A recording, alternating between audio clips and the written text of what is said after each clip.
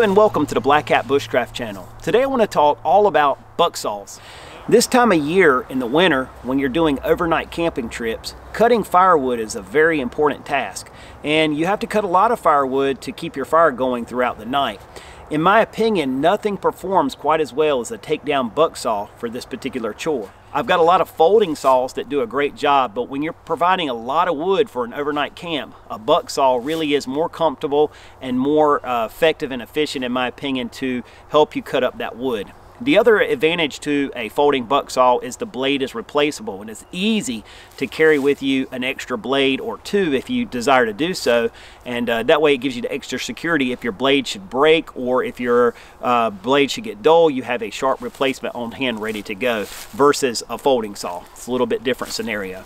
So today I want to take a look at three uh, folding buck saws that I own and have used extensively and I feel comfortable with these saws to tell you the pros and cons of each one it's not my goal to tell you that one is better than the other, but rather just to show you each one, uh, to show you how it assembles, disassembles, show you a couple of cuts with them, uh, give you a couple of tips on buck saws, things that help me in the woods, and uh, let you decide for yourself what looks best, what you might like, and what might be the best buck saw option for you in case you're in the market. So if you're in the market, stick with me, take a look at these buck saws, and uh, maybe you'll pick up even a tip or two along the way.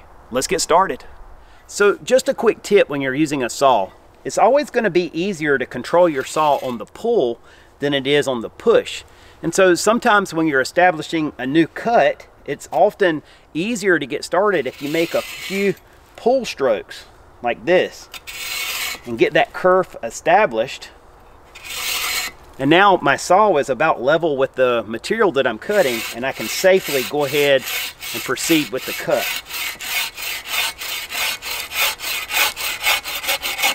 Just like that. So a couple of pull cuts like that will help you get your cut established just a little bit faster and safer.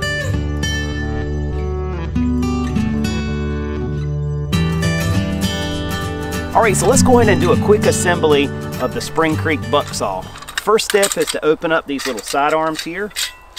We can slide this full blade assembly out. Now I'll go ahead and open this up. And there's a little channel here, which I'll slide this retaining screw into this little nut and bolt there. And then this slides into this channel and I can lock it in place. And now we're ready to cut. Now let's do a quick disassembly of the Spring Creek buck saw and just pop this out just like this. Blade will come out from this little channel.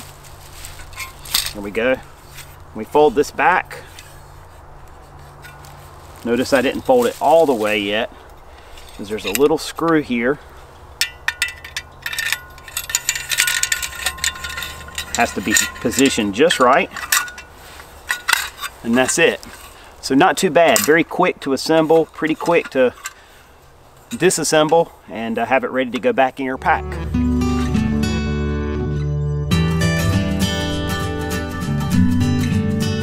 All right, let's go ahead and do a quick assembly for the Boreal 21. And the one thing that I like about this saw is that it is one assembly and all the pieces are connected at all times and that makes it very fast to deploy in the field. Basically the same speed that you can take out and open a folding saw, you can deploy the Boreal 21. Let's do a quick disassembly for the Boreal 21. You just have to pull this lever out, fold the blade back into the frame, close the handle. Now we're ready to put this back in our pack and we're on the move.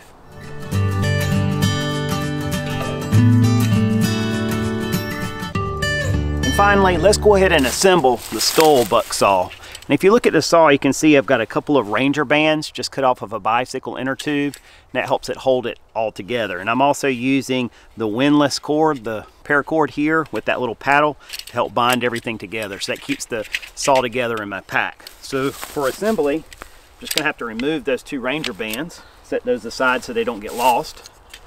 Now I remove this windlass cord. And I'm gonna set that aside for the moment.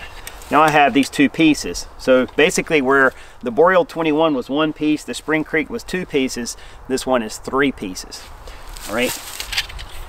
But being a traditional buck saw, it's a different it's a different bird in a lot of ways.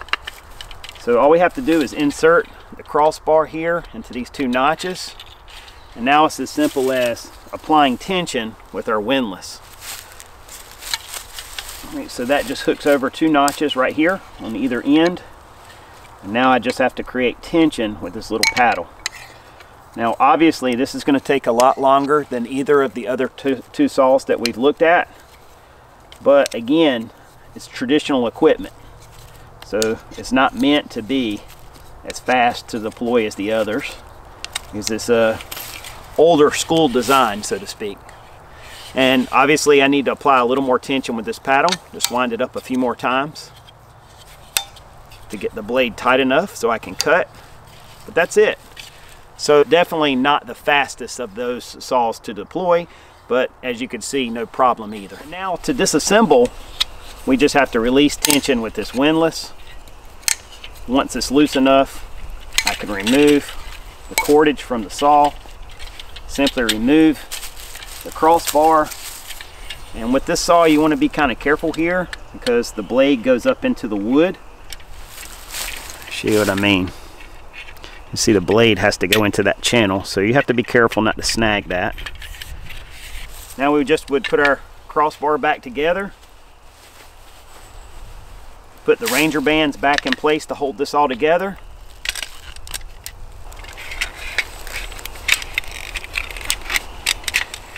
At that point, I'll just use a girth hitch or lark's head. Some people will know this as. The difference is subtle in those two knots. And now I can just wrap this up. Slip this paddle underneath the cord. And now once again, my saw is ready to put in its pack. And again, we can be on the move. All right, so one other tip that'll help you when you want to cut smaller material that might be hard to manage when you're on a sawbuck or it might be too short for plumber's vise, this is a nice safe way to cut that material. And all I'm going to do is prop my buck saw here up against the center of my body. And in my case, I have a fallen tree here I've got my saw wedged in against, but it could be the ground just depending. And from there, I'm going to use both hands to just bring the material itself up and down on the stationary saw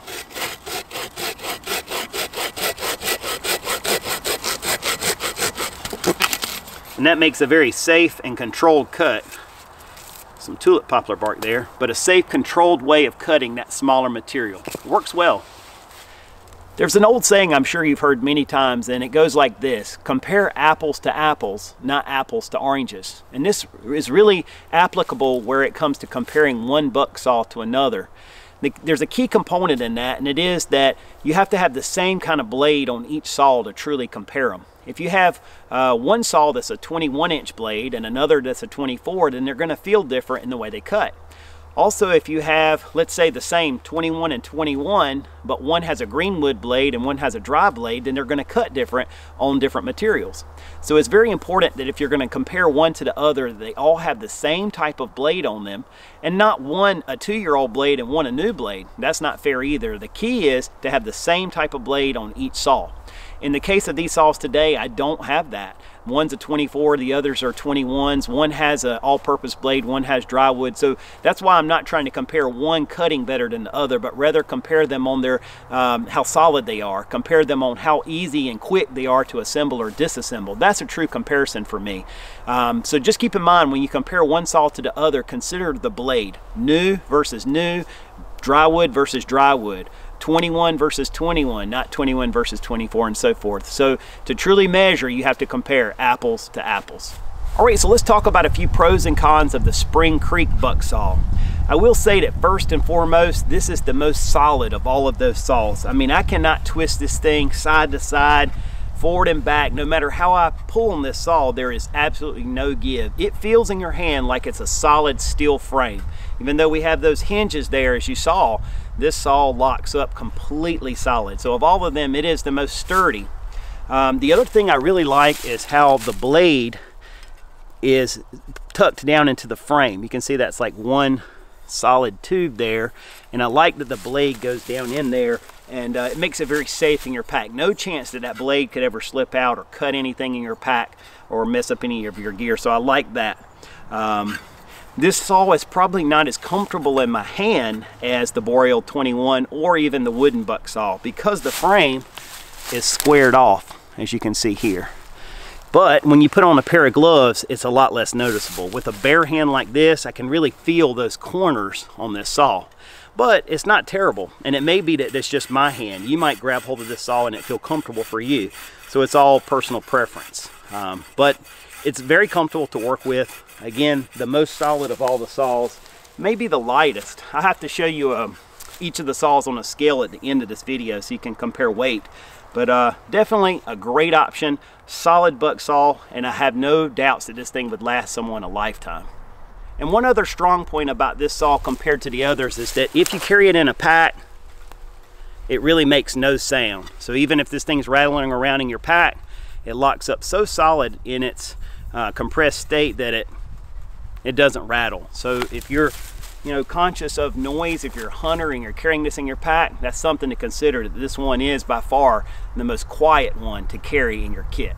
All right, so let's talk about a few of the pros and cons with the Boreal 21. I will say right off that of all the saws, this one is the easiest and fastest to deploy in the field. I really like that feature about it. Um, it by far, hands down, is easier than the other two and faster. I do like the compactness of this. It is definitely a thinner profile in your pack than say this wooden buck saw. So it's definitely a more compact saw to carry. Um, it's as light as any of the other saws. The handle is probably the most comfortable between the wooden buck saw and this one. Um, one thing I will say about it, it's the most noisy. So when you're carrying it in the field, if noise is an issue, this one will rattle more than either of the other two.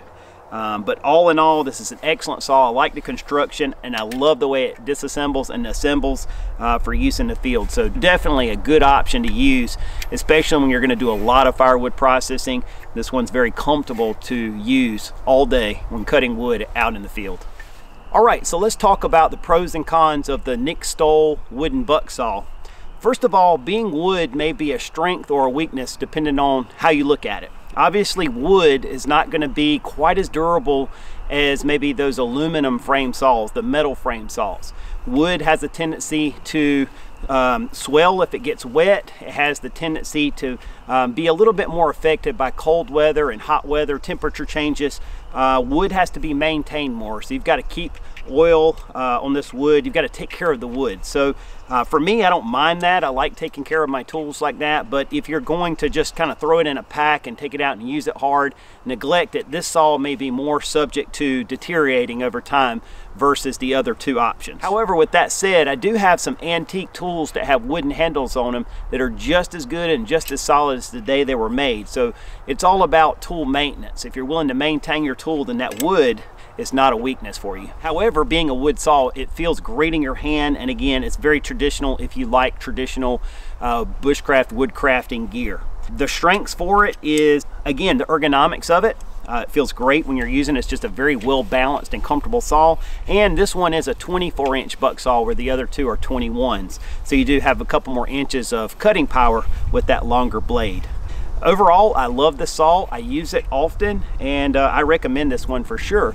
But it's just important that you understand its limitations or maybe its pros and cons.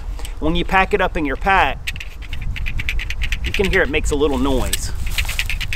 Not too bad, but it does have a little rattle to it. So I thought I would mention that for people maybe that are hunting and carrying a saw into a hunting camp. If you're packing this thing, it can make some noise uh, if it gets shaken around. But overall, great saw. And uh, if you're interested in a traditional type buck saw, this one is going to be the right one.